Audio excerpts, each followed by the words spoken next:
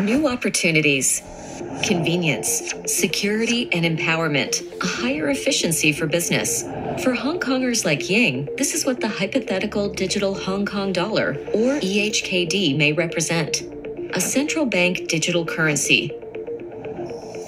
Leading to accelerated and simplified traditional financial processes to speed up money flows with less resistance and cost, benefiting buyers, sellers, and the economy at large. Processes that take weeks of paperwork between third parties will be completed almost instantly in a few clicks. As part of the EHKD pilot program, Fubon Bank, Ripple, and partners have spent months developing a faster way to unlock home equity and turn it into credit through a home equity line of credit loan or HELOC loan, dramatically shortening the application process. It starts in the Fubon Bank online portal. Ying sees his currently mortgaged properties, picks the one he wants additional credit on. Fubon Bank already pre qualified the amount of equity Ying can realize based off the property value and criteria such as income, credit history, prepayment history, and other information. Yang reviews the offer and terms, then confirms.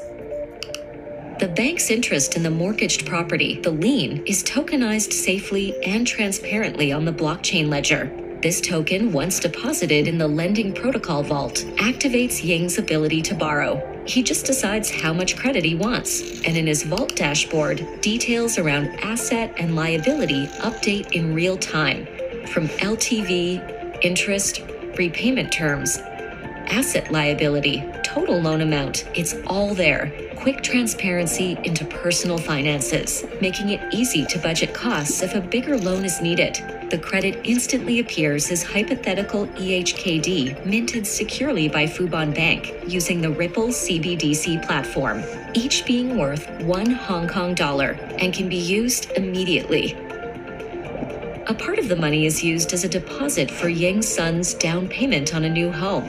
The rest of the loan can be used to finance his daughter's last year of university. Ying turned his home equity into credit to be used however he needs, with a few clicks from the comfort of his own home, without hoops to jump through, without annoying paperwork, without needing to travel, visit, and consult multiple third parties. And as the hypothetical EHKD ecosystem grows, so will benefits from the trend, from increased productivity to time saved and lower cost per transaction, to eventually seamless exchange of hypothetical EHKD as a CBDC all over the world. That's the exciting potential of hypothetical EHKD.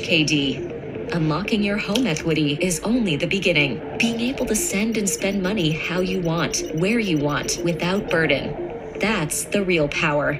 And that's the vision of the future Fubon Bank, Ripple, and partners are exploring under the HKMA's EHKD pilot program. The real estate industry is plagued with paper based, time consuming, antiquated processes. Only 7% of global real estate is available to investors, whereas 80% want to invest. Real estate is extremely illiquid, and investors are usually stuck with their investments for many years. DigiShares solves these problems with our blockchain based tokenization platform. We help real estate developers and asset managers digitize and automate their processes.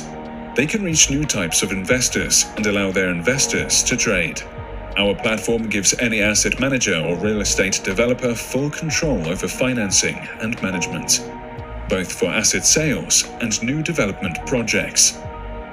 Real estate backed tokens can be issued, sold to investors, or traded on the platform.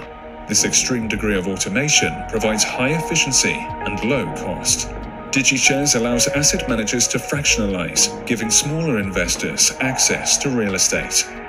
The result is democratization and equal opportunity access to wealth, both key visions behind blockchain technology. Tokens issued from the DigiShares platform are usable within the entire blockchain ecosystem. They can be traded on exchanges, stored safely with trusted custodians, or used as long term collateral for DeFi lending. Best of all, DigiShares platform doesn't force real estate investors to use crypto to invest and trade. We provide on ramp systems where investors can deposit and withdraw dollars and other currencies. While the platform uses blockchain to automate transactions, we don't impose it on our users. Contact DigiShares if you want to get full control, reduce administrative cost, and offer many new functions to your investors.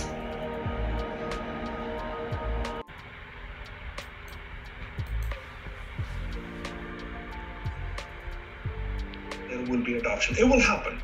I mean, I, I don't have doubts about uh, how, but I don't have a crystal ball saying it's going to happen in the next five years. You see what I'm saying? Uh, beyond five, I can't make a prediction, um, but uh, those are the areas where um, the focus has to be, product development has to be. Thanks. Thanks for that. Uh, quick five minutes for Q and A. Uh, one of the questions I have from Nathaniel is how do you, how does the panel see inflation affecting their work? So maybe in how's inflation impacting crypto trading? I know we've seen big swings in the past month, so I don't look at my crypto portfolio much nowadays. But...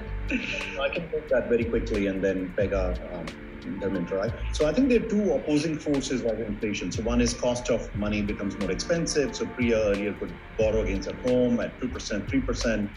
Now it's six. So she may think, hey, you know what, do I want to swing with Bitcoin or not, right? So that's, so some amount of speculation should go down because cost of trading, I mean, cost, I mean, cost of capital becomes more expensive, right? What she wants to put out there.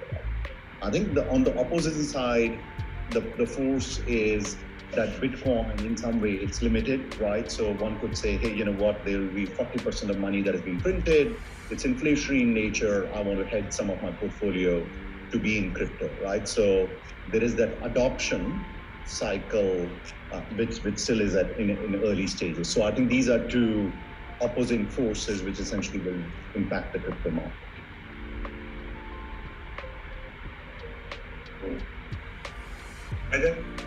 Yeah, I mean, it, it's a philosophical question at this point until we have more data. So you can sit on one side of the pond or another. And I think in a few years, we, we find out if um, crypto is inflation hedge or just moves with um, the rest of uh, monetary policy and other investing assets. And I'm sure this will change over time as other use cases develop, but still the bulk of use cases is still trading. So I think I have my personal views on that. Um, and each person will probably have their personal views. But I think with respect to, you know, what we build and how we build products, it doesn't necessarily impact impact it, right? We just we're always cognizant of liquidity and how liquidity moves. Um, but we're not taking making a bet on it. So we build all the same, but with like extra alertness of what's happening with liquidity and what do we need to make sure that we're set up. My thoughts uh, are uh, I look at it structurally, and uh, that once you sort of uh, segment it that way, you can then reflect in a better way. So crypto as a store of value, um, it depends. Um, it will certainly be exposed to inflationary pressures like any other store of value. Okay, crypto as a exchange of value, that will not be impacted. The problem is people confuse these fundamental things. Um, most people's their approach to crypto, at least from a consumer standpoint, is more of a store of value. I'm going to put this, and it's the greater fool theory. You know, it will keep increasing. Uh, we focus on crypto as exchange of value, not store of value. However, it's very hard to decouple because once you exchange it to crypto, it again is subject to those same inflationary pressures. Now, the question, and there was a product question that popped up what to build?